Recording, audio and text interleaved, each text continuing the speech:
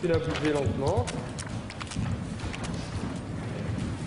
Very early on in the development of the form of contact improvisation, there was um, there was a decision made to not codify the form, to um, not put a copyright on it, not make a particular school that puts its stamp of approval on it, and basically leave it open to everyone to determine for themselves what it is, um, which means it manifests in many, many different ways. There's no uh, specific technique, no specific set of skills that you need to know, but more an open-ended exploration.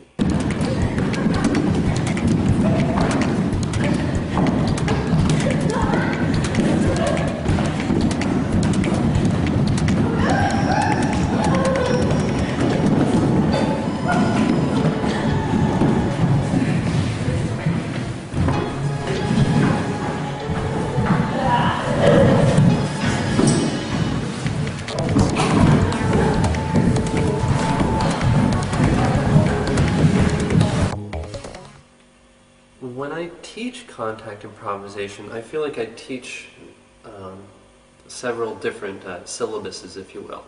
Um, one set of contact skills that I teach I think of as the classic contact dance. And it's kind of the first exercises that came out from both the, uh, the New York group, which would be like Steve Paxton, uh, Nancy Stark Smith, Nita Little, Danny Lepkoff, um, and then also the uh, West Coast group like Mangrove and some of the others who are working out west.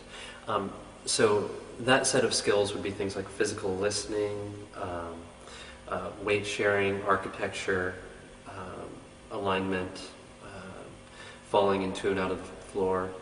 Uh, so that's kind of the classic contact.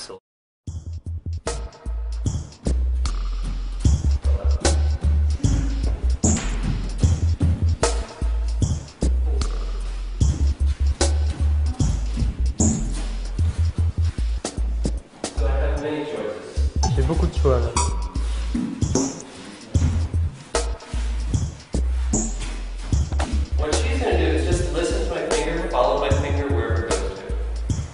Un point de contact. Et ce qu'elle va faire, c'est simplement suivre où est-ce que mon doigt, où est-ce que son doigt l'emmène. So she's listening for little shifts in pressure. Elle écoute dans les légers changements de pression, tous les légers changements de pression. And then following wherever they go to. Et elle suit où est-ce que ça l'emmène. And I'm actually doing the same thing. Et il fait aussi la même chose qu'elle.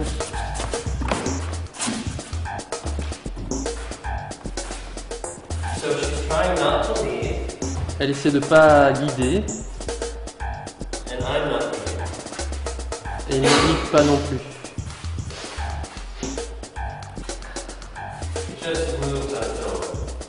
Ça bouge tout seul.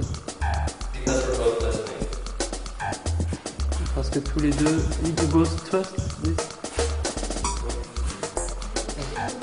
Ah, listen to this. Euh, vous- tous les deux, ils écoutent ça. If you're wondering why it's moving, um, just trust me, it moves. Ouais. Et confiance, de toute façon, ça bouge. I can explain later. On pourra expliquer après. John LeFan of Mangrove, he always used to say that contact improvisation is 95%, well, sorry, it's 5% creativity and then 95% survival. So it's like mm-hmm. 5% is just creatively putting yourself in precarious situations, and then 95% is just how do you survive. You know, and, it's, and that's a beautiful thing, watching the animal in action.